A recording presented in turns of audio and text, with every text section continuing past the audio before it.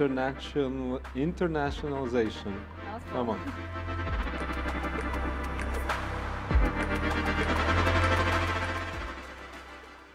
Hi, how are you doing? Um, my name is Giedre, and I'm International Content Marketing Manager at Printful. Today I'm in front of you to speak about website localization and whether that's a logical next step for your business. But before I get down to the nitty-gritty, let me quickly introduce Printful to you, okay? So Printful is print-on-demand dropshipping service that helps small and enterprise-sized businesses sell printed products online without having to worry about keeping a stock uh, or uh, delivering that product to the end customer. We specialize in printed apparel, home decor, and accessories. We're proud to say that we integrate with 19 e-commerce platforms and marketplaces. And if you're an avid Etsy shopper and have recently purchased print product like a t-shirt or a mug, chances are Printed has printed it for you. Uh, I mean, pr printed uh, and sent it to you on the behalf of the seller that you found on Etsy. Printful was founded in 2013 uh, and has been growing since day one. Um, in 2018, we celebrated 5 million printed products, and just a year later, we doubled that number by reaching 10 million printed products since launch. Of course, this couldn't have happened without a strong team, uh, and I'm, I'm here to represent marketing, so I want to celebrate marketing team, uh, marketing has been an important part of Printful since day one. Um, today we have 40 content marketers creating content in different languages. They're also creating different types of content. I'm proud to say that we have Printful website available in Spanish and Japanese. We're also actively working on content in German and French. Um, and if I have to say one thing to highlight before I get uh, down to all of this is that launching your business in, in another language shouldn't be the first thing you do if you're just starting out. In fact, it took Printful five years to introduce another language. That first language for us was Spanish. Let me name a few reasons why this was Printful's logical next step. Uh, we're a Latvian uh, company that operates um, and it has primary market in the US. At the time when we were localizing our website uh, to Spanish, um, we had three fulfillment centers in the US. Uh, as you know, Spanish language is the second most popular language in the US. Uh, being in the US, we knew that we believe we will be able uh, to keep up with the demand in this particular market. We also already had our Riga facility up and running, and as you know, there's another market in Europe that speaks Spanish language. Another interesting thing is that Spanish is in the top five uh, web content, uh, is one of the top five web content languages there's approximately 60% of content online that is created just in English, which means that um, getting discovered organically is really difficult. However, competing for niche keywords in another language is a lot easier, so we saw this as an opportunity. Finally, our partners, some of our biggest partners, already supported Spanish language, so if we were to offer Printful in Spanish as well, we knew that we would be able to reach a target market who might not have been able to use us before simply because of the language barrier. So I want to take a moment to celebrate our international team because in 2018 summer, we were one-person team. One person joined to do special to do content marketing in Spanish, and today our team is a lot bigger. So from left to right, you see Suvi, Hema, Elsa, Sara, Laura, Indira, and that happy guy in the top right corner is Raidis, our head of marketing. There's one person missing in the picture, however. That's our Japanese content marketer, Yohei, who was on vacation at the time we took this picture. Um, so if you know that particular market or particular language is a good fit for you at this moment, you need to do a, a little bit of more uh, homework and start by getting to know your market. Research your direct and indirect competitors. Take a moment to understand and research um, what are the customer expectations and behavior in this market? If you have partners or friends or contacts that have experience in this market, speak to them. Maybe they'll be able to give you some advice and will al allow you to hoop, uh, jump through several hoops a lot faster. Then take a step back and take a, take a look at your product from the perspective of the market that you're about to target. You know the strong and weak sides of your product. However, what is a pro or con for a particular market is not always the case for another market. Perfect example, made in USA product will be more attractive for US customer. Made in USA product will not be as attractive for, let's say, German or Japanese customer. Finally, have SEO in mind. SEO stands for Search Engine Optimization, and it's crucial if you want to get that free traffic coming your way. As I mentioned, getting discovered in English is, trying, is starting to get really, really competitive. So if you can work with your SEO team or find an agency that can help you out with it to identify particular niche keywords that you can target and drive your traffic using them. I want to take a moment to speak about translation and localization and the difference between the two, because that's something that we learned the hard way at Printful. Translation, just to make it clear, translation is the process of translating content from language A to language B. Localization is the process of translating content from language A to language B by adding uh, a little uh, sparkle of local um, culture and local uh, peculiarities to it. Let me share a real life example. So back in January, we launched Valentine's Day gift guide in English and in Spanish. Valentine's Day is notoriously known for gift giving, and it's a big holiday in the US, uh, most of the Europe. Um, however, even though Valentine's Day is popular in Japan, it's celebrated slightly differently. In Japan, on Valentine's Day, people give chocolates to each other. Now, Printful doesn't sell chocolates, so it, for us it didn't make sense to launch a website in Japanese, uh, a landing page in Japanese about it.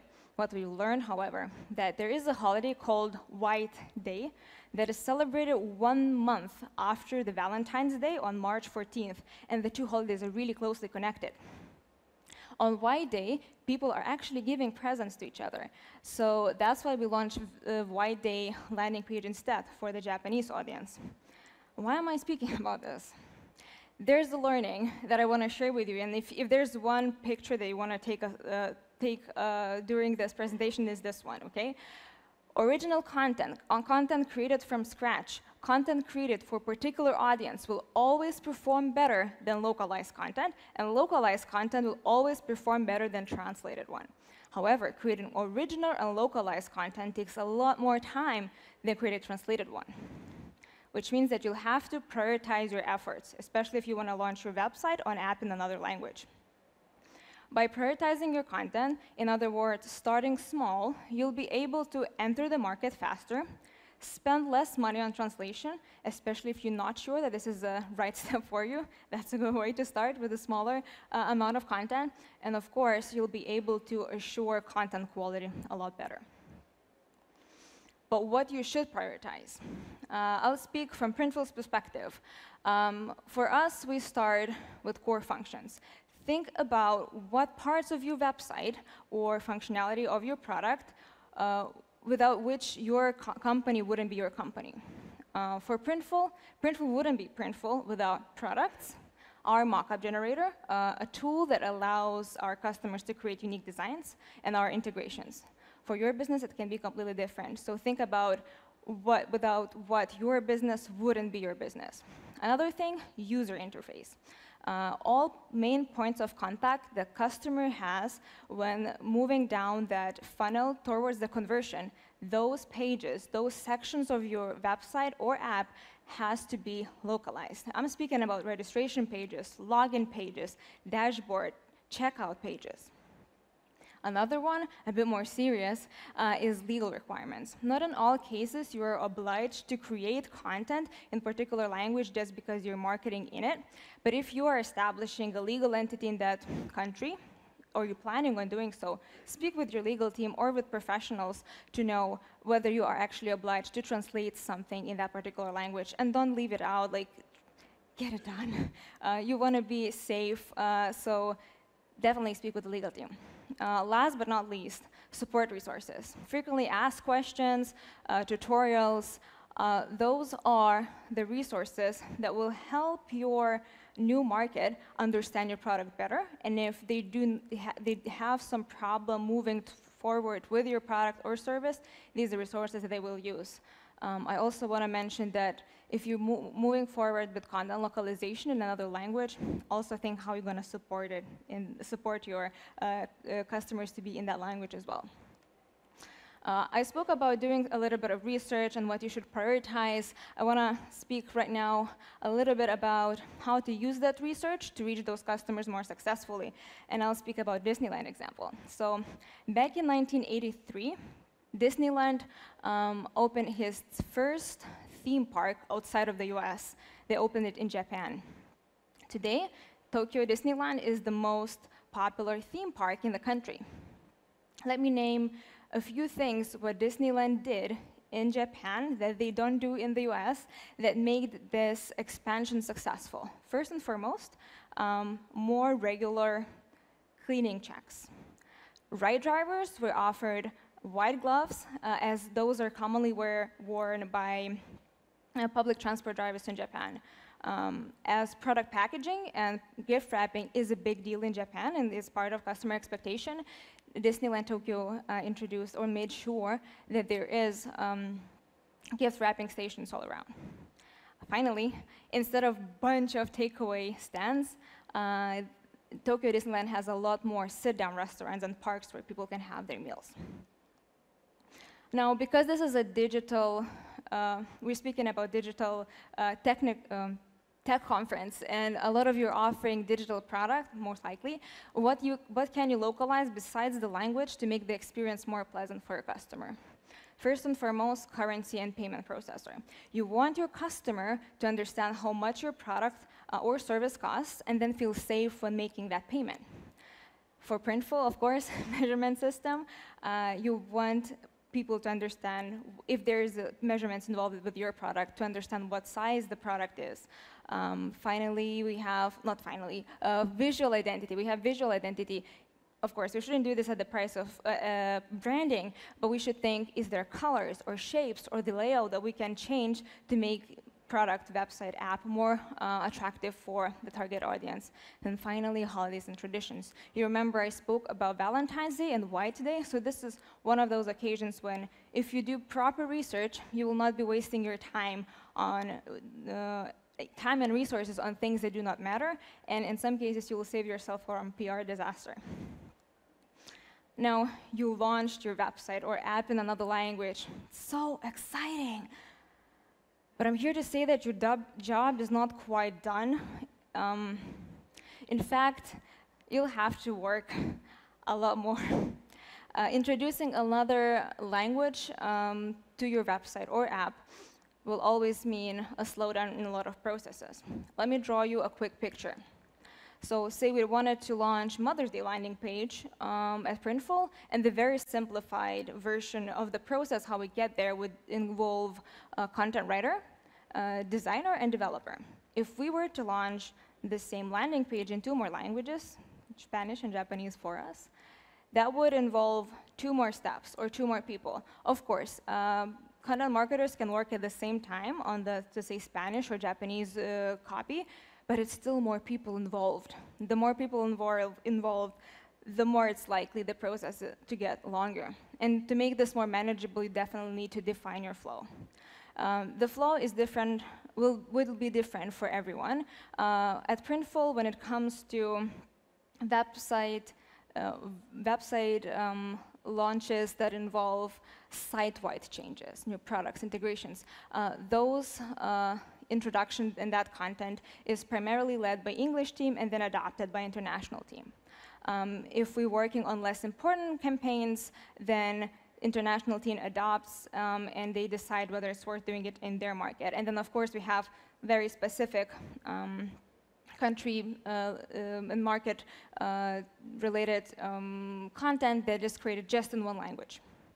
Um, and you'll have to think eventually about automation. The more languages you will introduce, the more difficult the processes will get, and no matter how defined the workflow is, you need to think about automation. Ideally, you want to be able to uh, submit translations uh, with one click of a button using a, some sort of system. If this is not available to you right now or in the nearest future, I'd suggest speaking with um, your designers and developers so they would help you create pages or parts of the website that are easy to, to edit at any time so you wouldn't have to bother them each time to change something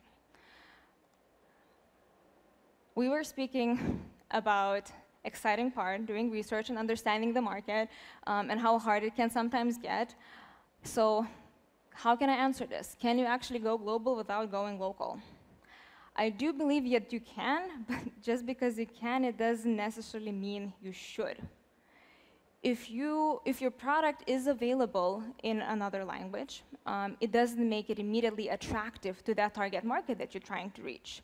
Uh, and if you really want to gain trust and respect of that market, you'll have to play by its rules. Thank you for your time. Um, we hiring. We need content marketers in all languages, and not only uh, content marketers. So make sure to check out printful.com/jobs if you're looking for new opportunities. Um, if you have any questions for me, can we take questions? Yes, yeah. Okay. Gather, gather was fast, uh, 14 minutes in only, so we have five more minutes. So we have a, a, microphone here in front. Anybody wants to come out? I can bring the microphone closer. Here's a question.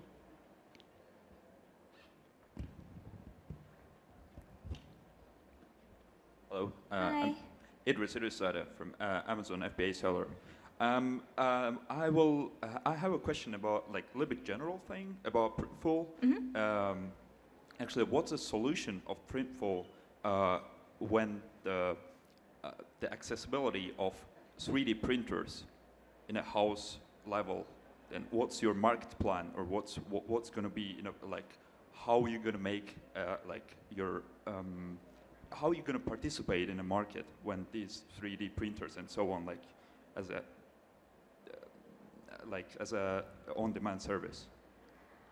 I would actually have to consult with our CEO about 3D printing plans. Um, because we print on the products, I, it's, it's, it's a bit a diff different type of concept than actually building product from the ground up. So I'm not sure I can answer you this to you. Okay. Unless you can specify your question. Sorry? Oh, yeah, okay. Okay. Thanks, yeah, thanks. All right, so do we, we have more time for more questions? Anybody? Question regarding printing, printful, localization? Hi. Hi. Uh, thank you for the speech. Uh, I have one question about like uh, how you are defining the next markets that you want to you know emerge and open, and have you closed any markets that you have like entered and then said no, and then why? so, happening?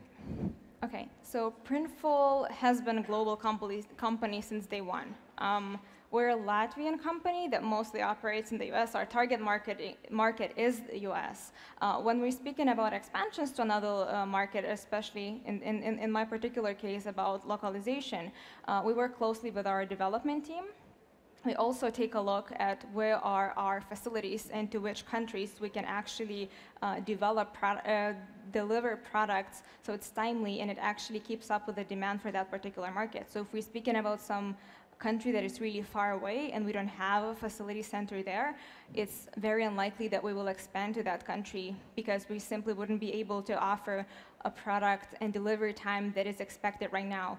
Uh, with Amazon, for example, being offering really fast deliveries, it's really difficult to all of a sudden say to the customer, oh, nice, you're shopping with us, thank you, it will take a month.